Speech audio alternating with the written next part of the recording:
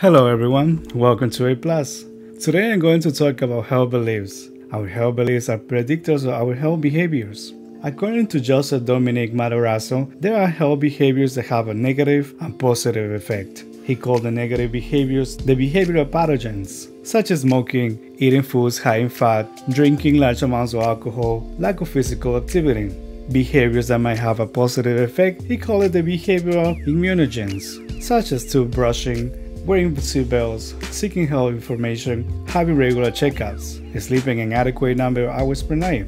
Health psychology agrees that knowledge plays an important role in health behaviors, but emphasizes that it's necessary to understand the ways in which people think about their behavior. For this, we're going to focus on four key approaches of health beliefs attribution theory and the related notion of health locus of control, risk perception, which has been explored in terms of unrealistic optimism, risk compensation, and self affirmation theory, motivation and self determination theory, and self efficacy. Attribution theory. It is a theoretical proposition about the process by which people describe motives to their own and others' behaviors, and particularly whether these motives are either internal and personal or external and circumstantial. This can be explained in the following dimensions.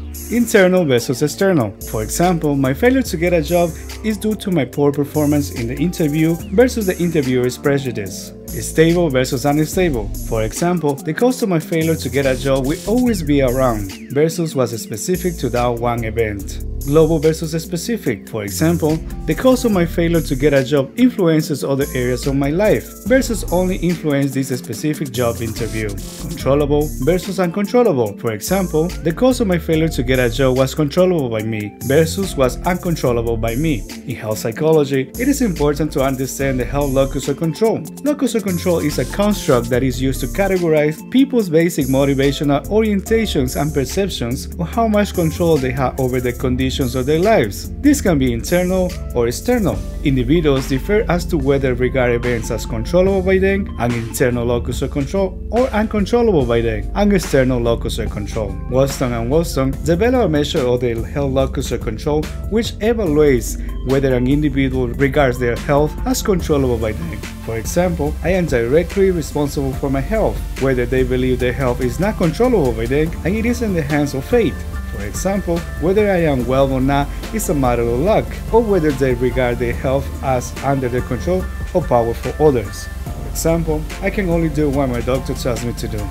Although the concept of health locus of control is promising, there are several problems with it. To identify if the health locus of control is a state or a trait, is it possible to be both external and internal at the same time? Is going to the doctor external? The doctor is a powerful other who can make me well, or internal? I am determining my health status by searching out appropriate intervention.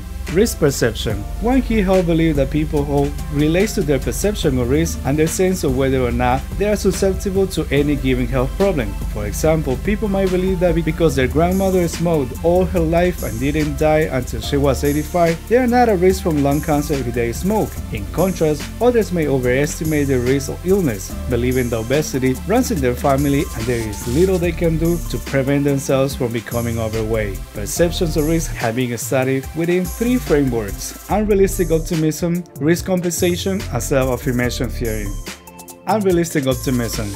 According to Professor Neil D. Weinstein, one of the reasons that people continue to practice unhealthy behaviors is due to inaccurate perceptions of risk and susceptibility. Professor Weinstein conducted a study where he asked subjects to examine a list of health problems and compare to other people of the same age and sex. What are the chances of getting a given health problem? The questions were labeled as greater than, about the same, or less than theirs. The results of the study showed that most subjects believed that they were less likely to get the same health problem. Weinstein called this phenomenon unrealistic optimism, as he argued that not everyone can be less likely to contract an illness.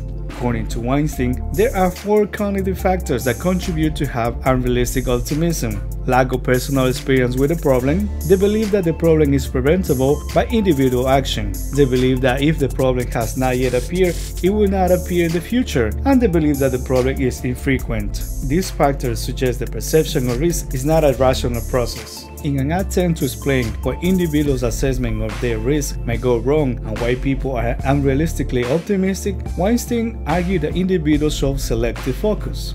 He claimed that individuals ignore their own risk increasing behavior. I might not always practice safe sex, but that is not important. I'm focused primarily on the risk reducing behavior, but at least I don't inject drugs. He also argues that this selectivity is compounded by egocentrism. Individuals tend to ignore others' risk decreasing behavior. My friends all practice safe sex, but that's irrelevant. Therefore, an individual might be unrealistically optimistic if they focus on the times they use condoms when assessing their own risk and ignore the times that they do not. And in addition, focus on the times that others around them do not practice safe sex and ignore the times that they do practice safe sex.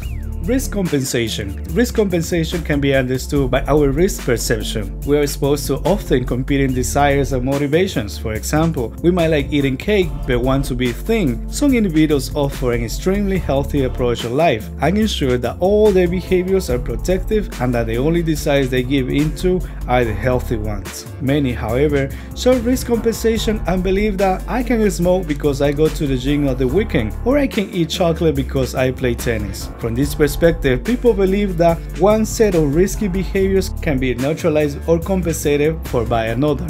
Tida Radtke and colleagues had developed a skill to assess compensatory beliefs in the context of adolescent smoking and concluded that more compensatory health beliefs about smoking predicted a lower readiness to stop smoking. They argue that smokers are often in a state of cognitive dissonance. For example, I want to be healthy, but I know smoking is unhealthy, and that compensatory health beliefs may be the mechanism for them to resolve this cognitive dissonance.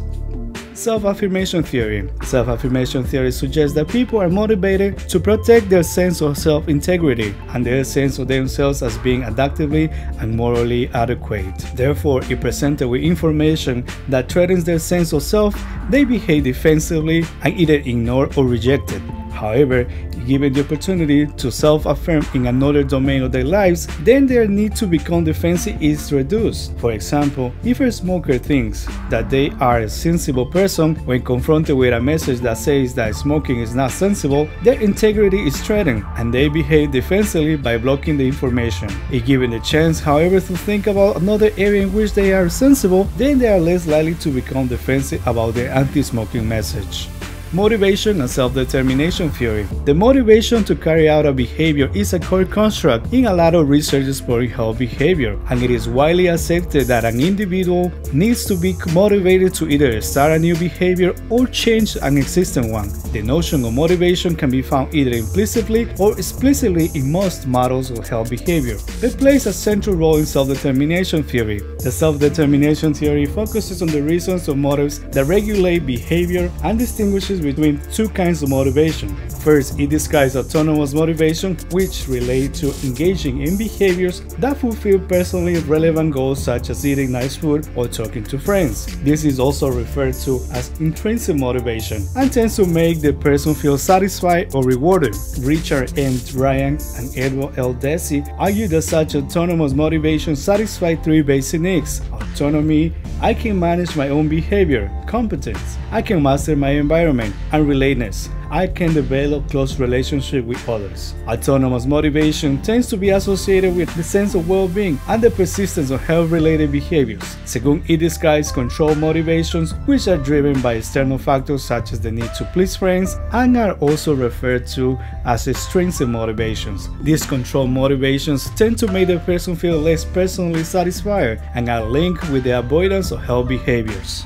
Self-efficacy. The notion of self-efficacy was first developed by Bandura in 1977 and then expanded as part of his social learning theory, which has been used extensively to explain a range of behaviors from aggression and parenting to eating and exercise. Self-efficacy is the belief of one's capabilities to organize and execute the sources of action required to manage prospective situations and is very closely related to feeling confident in one's ability to engage in any given behavior. Therefore, stopping smoking will be related by the belief I am confident I can stop smoking, and eating more vegetables will be predicted by I can eat more vegetables in the future. In summary, there are a number of key factors which have been linked with health beliefs attribution theory and the health locus of control emphasizes attributions for causality and control, whereas unrealistic optimism, risk compensation, and self-affirmation focus on perceptions of susceptibility and risk. Further research has explored the role of motivation and self-efficacy. All these different aspects of health beliefs have been integrated into structured models of health beliefs and behaviors so health psychologists can be able to integrate these models into future research. Thank you for watching. If you like what you watch, please like and share and don't forget to subscribe. Bye.